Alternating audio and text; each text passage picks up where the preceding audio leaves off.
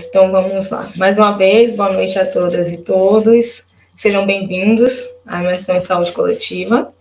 Então, vamos dar início à nossa aula a respeito das políticas e programas de saúde. Bom, eu quero começar me apresentando, né? Eu sou Marluce Santana, eu sou graduada em Serviço Social pela Universidade Federal da Bahia, sou mestre em Estudos Étnicos e Africanos pelo Pós-Afro, também na UFBA, na Universidade Federal, Sou docente na pós-graduação em Serviço Social com ênfase em saúde, aqui na Bonifácio Educacional, e também sou docente e tutora do curso de graduação em Serviço Social, no qual leciono disciplinas relacionadas à área da saúde, também gestão social, serviço social e educação.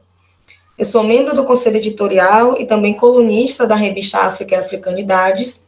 Sou responsável pela elaboração da coluna Perspectivas Antirracistas para o Serviço Social Sou parecerista da revista Teórico Prático. Sou membro do Observatório de Racialidade e Interseccionalidade, o ORI, que é vinculado à Federal da Bahia.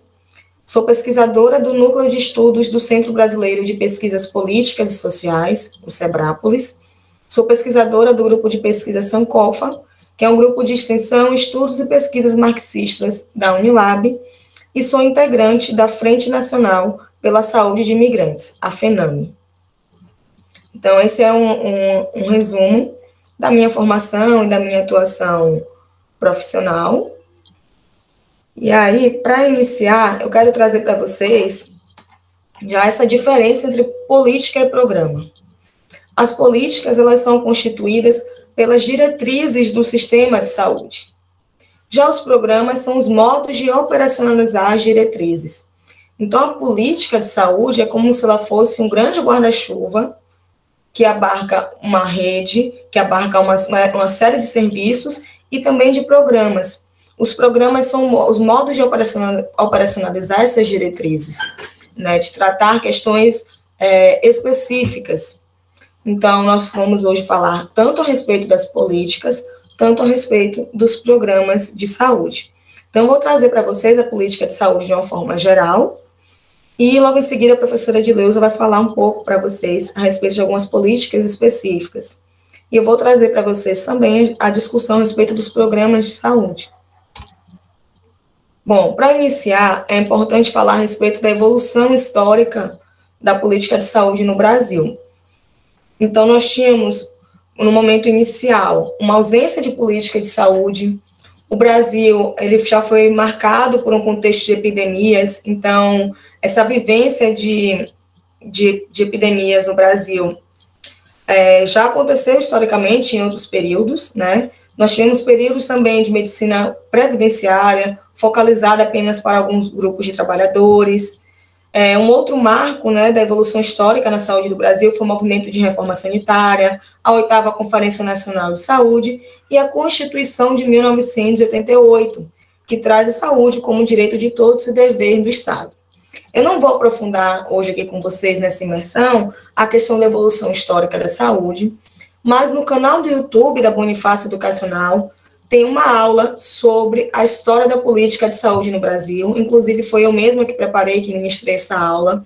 Então, é uma aula cheia de detalhes. É, a gente traçou uma linha histórica desses acontecimentos. Então, vocês podem estar visitando né, o canal da Bonifácio Educacional, aproveitando essa aula que está lá preparada para vocês, para aprofundar quanto à questão da evolução histórica da política de saúde no Brasil. Então, como eu destaquei aqui para vocês, nós temos como marco a Constituição de 88, que garante a saúde como direito de todos e dever do Estado. E os artigos da Constituição que dispõem sobre a saúde são os artigos do 196 ao 200. Então, o artigo 196, ele define a saúde como direito de todos e dever do Estado. O artigo 197, ele traz que cabe ao poder público dispor sobre a regulamentação, fiscalização e controle da política de saúde. Já o artigo 198 estabelece a criação do SUS, que é o nosso Sistema Único de Saúde, que as ações e serviços públicos de saúde integram uma rede regionalizada hierarquizada e constituem um sistema único. Então, a Constituição, ela traz, no artigo 198, a respeito do Sistema Único de Saúde, Então, antes da Constituição, a saúde no Brasil, como eu destaquei ao falar sobre a evolução histórica, era uma saúde focalizada, nós tínhamos estratégias de medicina previdenciária. Então, a partir da Constituição de 88, nós temos a, implementação do Sistema Único de Saúde. E no artigo 199, traz que a assistência à saúde é livre à iniciativa privada. Ou seja, nós temos um Sistema Único de Saúde, a saúde é um dever do Estado, mas a iniciativa privada ela pode é, desenvolver, estabelecer no Brasil livremente quaisquer serviços de saúde, é, de média complexidade, de alta complexidade, enfim, clínicas, hospitais e etc. E o artigo 200 traz o que compete ao SUS. Então é importante que nós conheçamos é, a Constituição, o que a Constituição traz a respeito da política de saúde e, entendem, e entendamos a respeito da Constituição do SUS. Bom, além da Constituição, cabe destacar a Lei 8.080, do ano 1990, que dispõe sobre as condições para a promoção, proteção e recuperação da saúde e sobre a organização e funcionamento dos serviços de saúde. Nós temos também a Lei 8.142, de 1990, que dispõe sobre a participação da comunidade na gestão do SUS e sobre as transferências intergovernamentais de recursos. Então, é importante a compreensão a respeito dessas legislações, né? A respeito do funcionamento do SUS. Então, não basta apenas é, a gente entender que é um dever do Estado. A gente precisa entender que é um dever do Estado, é um direito de todo cidadão, e entender como estão dispostas essas condições para promoção, para proteção, como se dá a organização, o funcionamento, o financiamento da política de saúde, do Sistema Único de Saúde no Brasil. E também a respeito da participação. Então, nós temos os conselhos de saúde, né? Indico que vocês busquem é, informações a respeito da oitava Conferência de Saúde, que é um marco né, na participação popular quanto à política de saúde. Então, a, a, a oitava conferência, ela, ela, ela faz, veio no sentido do movimento de reforma sanitária, é uma conferência que antes ocorreram conferências estaduais, conferências municipais, então ocorreu uma mobilização para essa conferência. E nós temos no ano de 1990 uma lei que garante a participação da comunidade na gestão do Sistema Único de Saúde. E aí nós temos os importantes espaços de participação, que são os conselhos. Nós temos o Conselho Nacional de Saúde, conselhos estaduais e também conselhos municipais. Bom, agora já nesse início de aula, eu queria trazer para vocês uma recomendação, uma dica, que é um e-book interativo intitulado O que é SUS?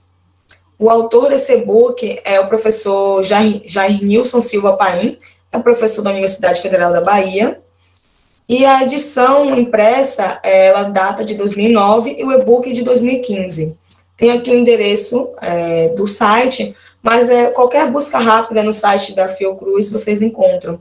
A Fiocruz ela tem muito material produzido a respeito da política de saúde, seja acerca da legislação, seja acerca da implementação do SUS, do histórico da política de saúde no Brasil.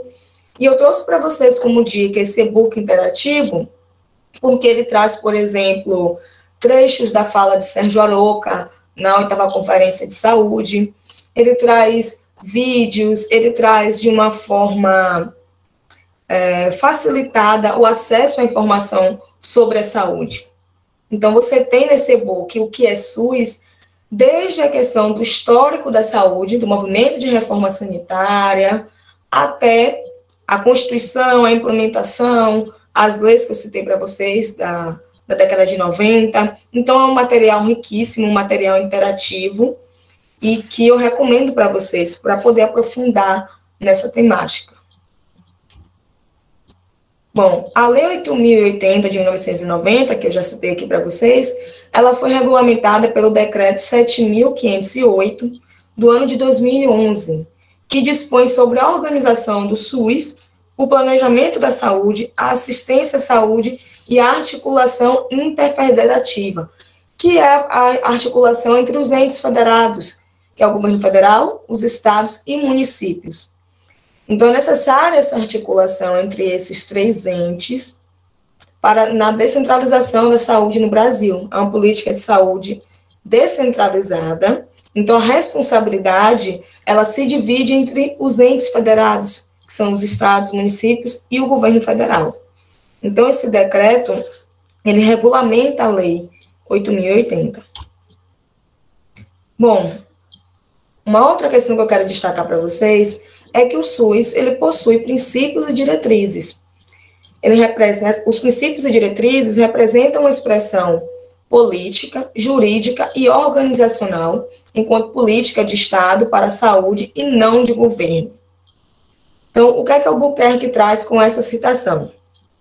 Que o SUS, o nosso Sistema Único de Saúde, ele é uma expressão política, jurídica, ele traz ordenamento jurídico, e organizacional, as formas de organizar o SUS, enquanto a política de Estado e não de governo. Então, independente, por exemplo, é, uma alteração que ocorra no governo não vai gerar diretamente alteração na política de saúde. Através das emendas constitucionais, através da, das mudanças nos, nos programas, altera-se sim a organização, a, o funcionamento de serviços, o, o, e várias questões a respeito do SUS. Mas o SUS é uma política de Estado, não uma política de governo.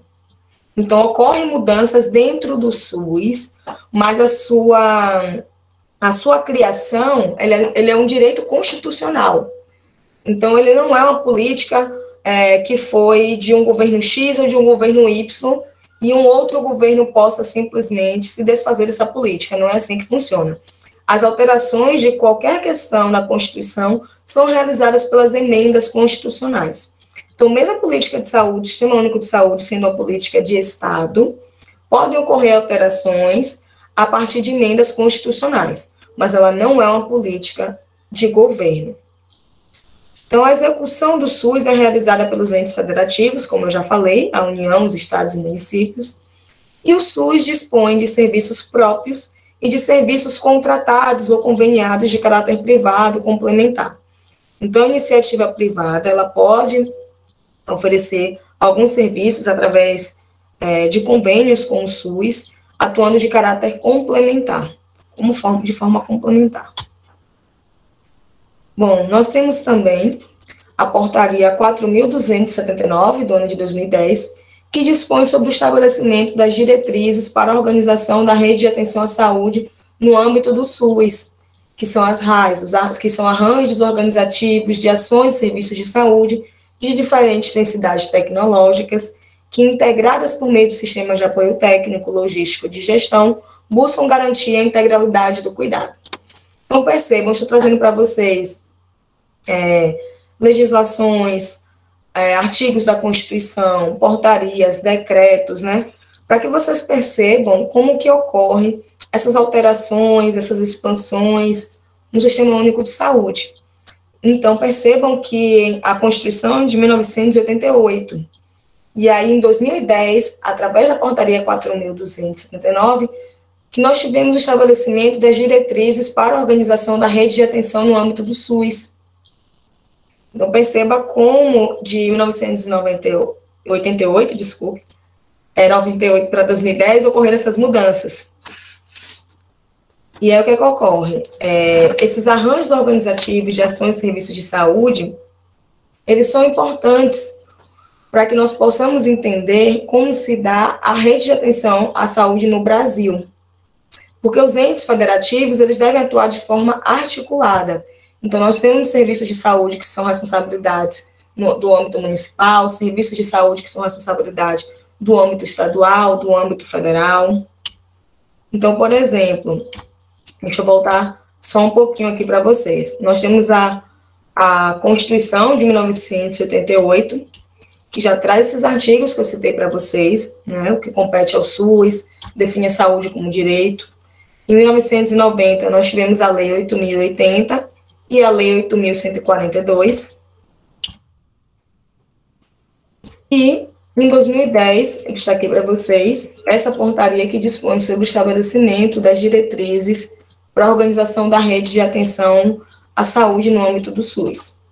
Eu considero que essa portaria é um avanço para que nós tenhamos direcionamento quanto ao trabalho em rede. O trabalho em rede é extremamente importante para a política de saúde e também para a atuação do profissional, seja o profissional assistente social, é, médico, enfermeiro, enfim. Porque a rede, atuando de forma articulada, em conjunto, ela pode promover uma, uma atenção à saúde de forma integral. Dito isso, eu quero falar para vocês a respeito da estratégia de saúde da família. Como é que surgiu essa estratégia no Brasil e como ela se conforma nos dias atuais. Então, em 1991 foi instituído o Programa Nacional de Agentes Comunitários de Saúde. Já em 1992, esse programa passou a ser intitulado como Programa de Agentes Comunitários da Saúde. Em 1994, a Portaria 692 criou o Programa de Interiorização do Sistema Único de Saúde e o Programa Saúde da Família, 94. Através da publicação da NOB 96, ocorreu a reordenação de um novo modelo de atenção à saúde que estabelecia a forma de financiamento da atenção básica em saúde. Então, vocês podem perguntar, mas professor, o financiamento é importante? É, e é importante que nós tenhamos compreensão também a respeito do financiamento, para que nós possamos entender como que a política é organizada, quais são as fontes de financiamento. Isso tem implicação direta no nosso trabalho, porque sem financiamento, a, a política ela não tem como ser operacionalizada. Então, o financiamento é central para qualquer política. Bom, através da publicação da portaria 1886 do ano de 97, o Programa de Saúde da Família recebeu a denominação de Estratégia de Saúde da Família. A portaria número 3.925, de 98, dispõe sobre a criação do Manual para a Organização da Atenção Básica no SUS. Então, perceba como essas portarias, elas trazem modificações. Então, o programa de saúde da família, ele deixa de ser um programa e passa a ser uma estratégia, e é uma estratégia de saúde nacional. Em 98 ocorre a criação do Manual para a Organização da, da Atenção Básica no SUS. Então, perceba como a atenção básica ela passa a ter é, uma organização diferente a partir dessas mudanças. Então, é estabelecido através da portaria o conceito de atenção básica em saúde, que é um conjunto de ações de caráter individual e coletivo, sendo o primeiro nível de atenção do Sistema Único de Saúde, e assumiu que entre as estratégias existentes no SUS de reorientação do modelo de atenção, a estratégia de saúde da família seria considerada como estratégia prioritária da saúde. Então, essa iniciativa de se criar um programa de saúde da família ela passa posteriormente, a, a, o programa passa a ser posteriormente uma estratégia de saúde. E essa estratégia de saúde, ela vai ser considerada como uma estratégia prioritária da saúde, uma prioridade da atenção básica no Brasil. Então, nós tivemos uma outra portaria, que eu destaco para vocês, que é a 648 do ano de 2006, que dispõe sobre a criação da Política Nacional da Atenção Básica, que ela ratificou, ela validou a estratégia de saúde da família enquanto uma estratégia de mudança do modelo de atenção à saúde no país. Então, nós temos a estratégia de saúde da família validada, ela consolidada através da publicação dessas, dessa portaria de 2006. Mas, professora, por que tantas portarias a senhora está trazendo esses exemplos, essas datas? Por que isso é importante? É porque é através das portarias que ocorrem as mudanças. Então, perceba como, por exemplo, eu destaquei para vocês a saúde da família. A saúde da família, ela nasce inicialmente, né, através do Programa Nacional de Agentes Comunitários de Saúde. E aí, em 1994, é criado o Programa de Interiorização do Sistema Único de Saúde e o Programa Saúde da Família. E aí, de programa, ele passa a ser estratégia, mas a partir da publicação da portaria. Então, essas portarias são os marcos para essas mudanças, os marcos legais. Por isso é importante, por isso trazendo para vocês essas portarias nessa aula de hoje, para que a gente possa entender que quando a gente está falando de política de saúde, a gente está falando a respeito de legislações, questões de organização, questões de financiamento, que tudo isso está envolvido nos funcionamentos do dos serviços. Então, a política de saúde é o, o, que dá corpo, o que dá base ao SUS. Então, nós precisamos entender essas políticas e as mudanças. Então, as portarias são os marcos. Então, por isso, estou trazendo para vocês e destacando cada portaria e a data e qual mudança essa portaria trouxe. Então, nós temos aí, em 2006, a criação da Política Nacional de Atenção Básica, validando a estratégia de saúde da família enquanto estratégia de mudança do modelo de atenção à saúde no Brasil. E nós temos também a publicação da portaria 2488 do ano de 2011, que aprova a Política Nacional de Atenção Básica com vistas à revisão da regulamentação, de implantação e operacionalização das questões que já estavam vigentes. Então, Política Nacional de Atenção Básica, o que é que ela, o que é que ela traz, o que é que tem nessa política? Os princípios e diretrizes gerais, as funções e responsabilidades, a infraestrutura e funcionamento da atenção básica, o processo de trabalho das equipes, as atribuições dos membros da, das equipes, a questão da implementação e credenciamento das equipes e o financiamento da atenção básica. Então, vocês podem acessar a, a política, ela é disponibilizada gratuitamente pela internet. Quem tiver interesse em se aprofundar ou que já trabalha na atenção básica, é importante entender. Então, a política é o que desenha como vai ser o serviço. Então, perceba que ela traz desde os princípios e diretrizes até as atribuições dos membros das equipes. Então, a equipe, a equipe de atenção básica tem suas atribuições descritas na Política Nacional de Atenção Básica.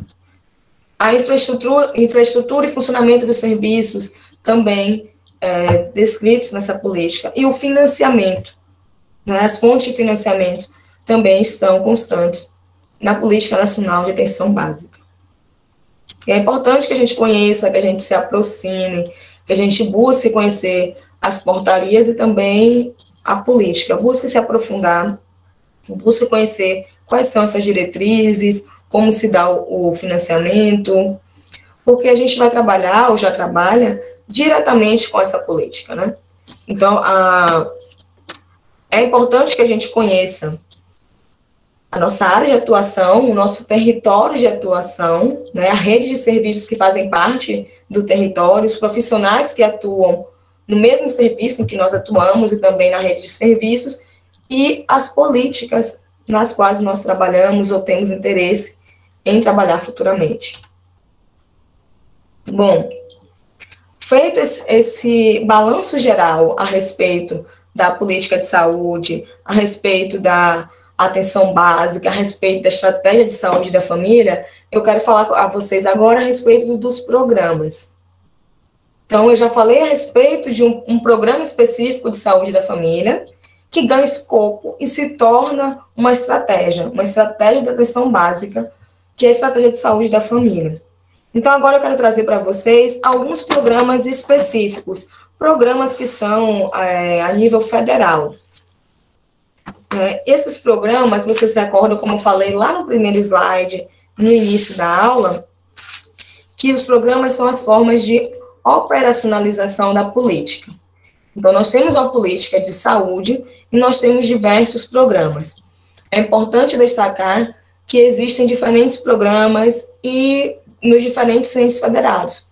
Então, nós temos programas que são nacionais, que são de todo o território brasileiro, nós temos programas que são estaduais, programas que são específicos de alguns estados, programas específicos de alguns municípios.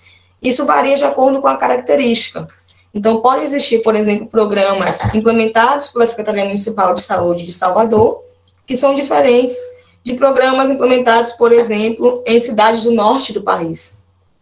Então, tanto estados, municípios e governo federal podem implementar programas de saúde conforme a, a necessidade de, de cada território. E também há programas que são em comum a nível estadual, a nível federal, no território brasileiro. Então, eu queria abrir esse momento falando sobre programas, falando a respeito do Programa Nacional de Imunizações, o PNI. E eu quero começar com o PNI porque nós estamos no momento de vacinação né, contra a Covid-19. E nós estamos falando muito a respeito né, da questão é, das vacinas, da importância da, da vacinação. Então, é importante também que nós conheçamos esse Programa Nacional de Imunização, que não foi criado agora, durante a pandemia, ele foi criado em 1973 e teve a institucionalização, desculpe, em 1975, através da Lei 6.259. Então, o Brasil é um dos países que oferece o maior número de vacinas de forma gratuita. O Brasil é referência quanto à vacinação. Então, o Brasil já é referência há muitos anos, por conseguir, é um país que tem dimensão continental e é um país que consegue ter, desenvolver estratégias de vacinação em todo o território nacional. Então, o Brasil é uma referência nessa área, já tem esse programa criado desde 1973, e o PNI, ele, ele possui vacinas para mais de 30 doenças e disponibiliza cerca de 300 milhões de doses anualmente, e tem cerca de 38 mil salas de vacinação. Essas salas de vacinação elas estão espalhadas pelo território nacional, seja em, em diversos serviços de saúde em todo o território nacional. Então, perceba a capacidade que o Brasil tem. A partir desse programa, é um, um programa a nível nacional, que ocupa todo o território e que consegue oferecer vacinas de forma gratuita, cerca de 300 milhões de doses anualmente. Então, isso faz do Brasil uma referência na área de imunização. Bom, um outro programa que eu queria destacar, todos os programas que eu vou destacar para vocês hoje são programas a nível nacional.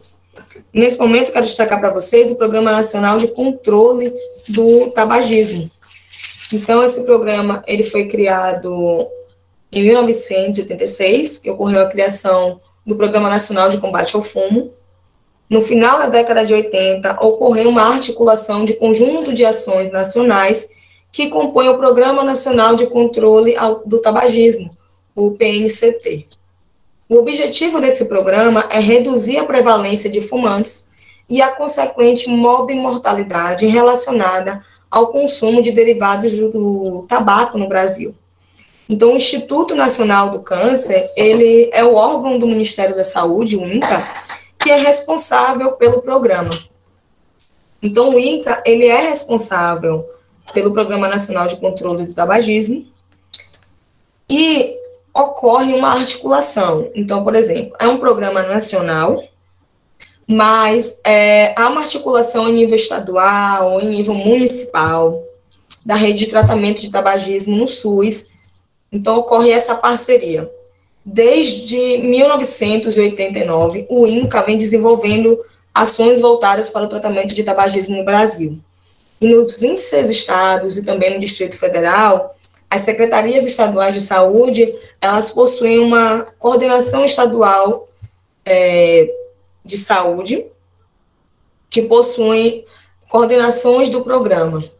Então, em todos os estados brasileiros, a coordenação do Programa Nacional de Controle do Tabagismo, através das secretarias estaduais. Então, ele é descentralizado. E as secretarias estaduais, ela descentraliza as ações nos municípios, então atuando de forma integrada. Então, o INCA é o órgão do Ministério da Saúde, Instituto Nacional do Câncer, que é responsável por esse programa a nível nacional. Os estados, eles é, implementam esse programa através de diversas iniciativas, as secretarias estaduais de saúde, e ocorre também a descentralização de ações para os municípios.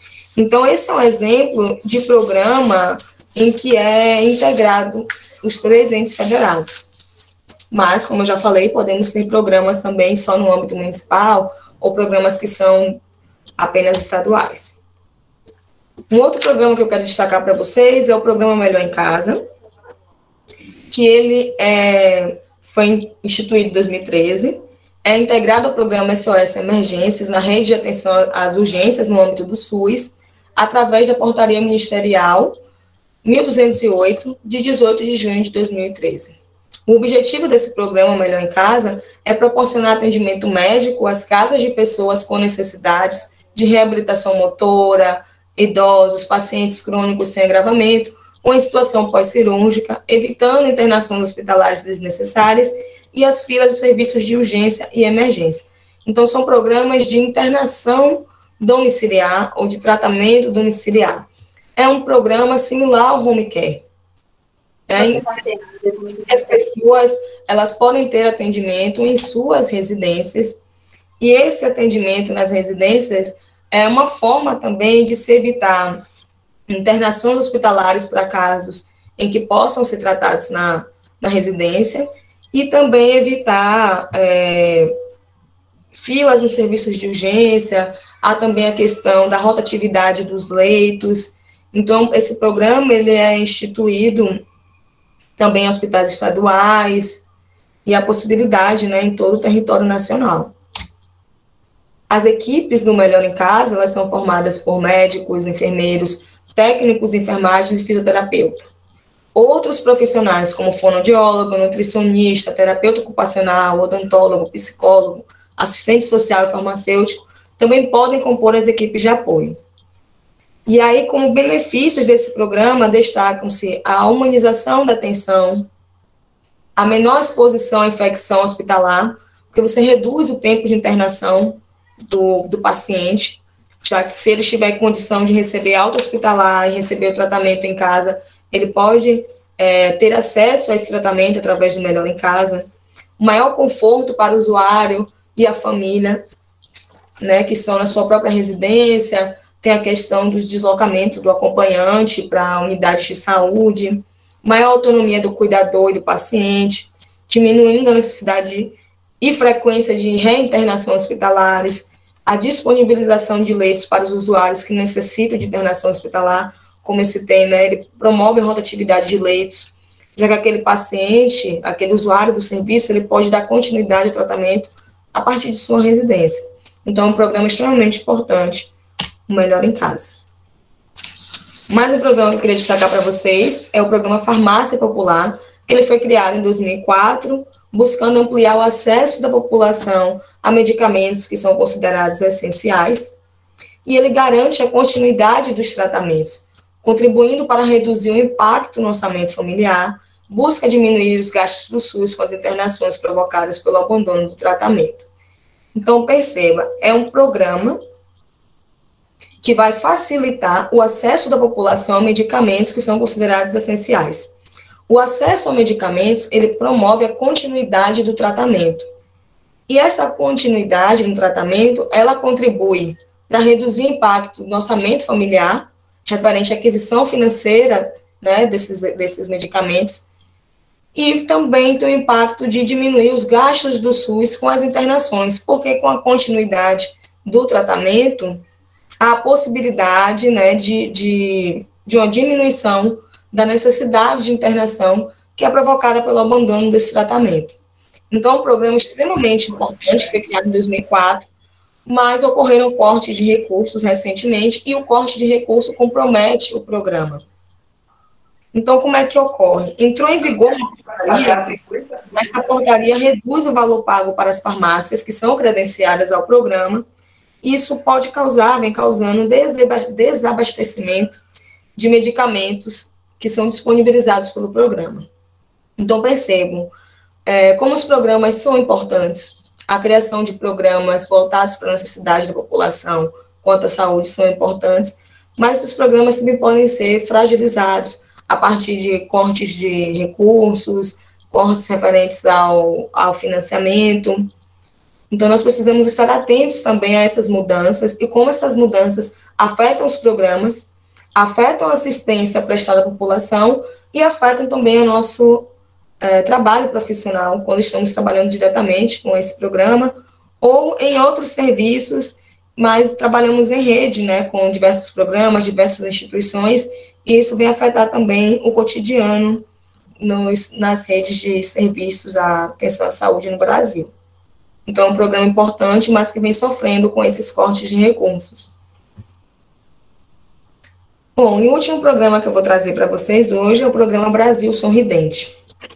Então, assim, existem diversos outros programas que eu poderia destacar para vocês, mas dentro do nosso tempo, né, nesse período de imersão, eu quis trazer para vocês as políticas de saúde, as portarias, as mudanças, falar sobre a estratégia de saúde da família e destacar esses programas de nível nacional, para que a gente entenda como é que o SUS, como é que a política de saúde, ela vem operacionalizando diferentes programas, né, em diferentes áreas, focando na saúde da população e a nível nacional.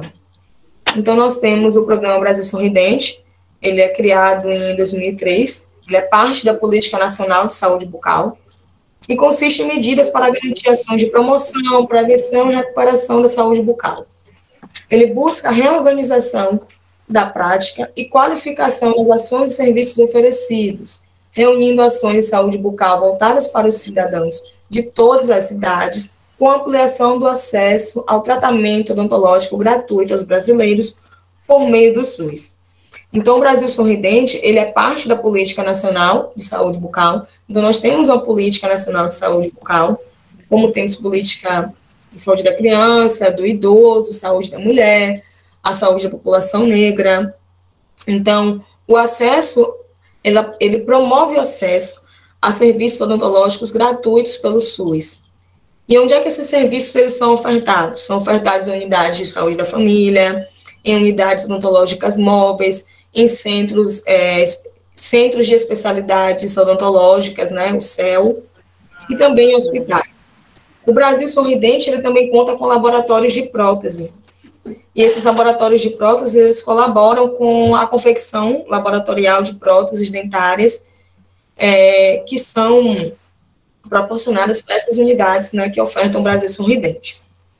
Então, o Brasil Sorridente é um programa que dialoga com diversas outras ações e diversos outros programas, como, por exemplo, o Brasil Sorridente Indígena e também o Programa de Saúde na Escola, que é um programa que dialoga diretamente com o Brasil Sorridente. Então, perceba como a política de saúde no Brasil, ela tem potencialidades, né, e também ocorrem como eu falei com vocês, a respeito das alterações, das mudanças, que ocorrem mudanças tanto para potencializar os serviços, como podem ocorrer também mudanças para fragilizar os serviços e os programas. E é importante que nós conheçamos os programas em que atuamos e, para além dos programas, também as políticas e a política de saúde de forma geral, que conheçamos o SUS, que conheçamos é, como se dá essa, como se dá a organização dessa política, como se dá o financiamento. Então, nesse momento, é, essa é a minha contribuição para vocês nessa imersão. Agradeço a todos pela atenção. Em caso de dúvidas e considerações, estou disponível para estar respondendo e compartilhando informações com vocês.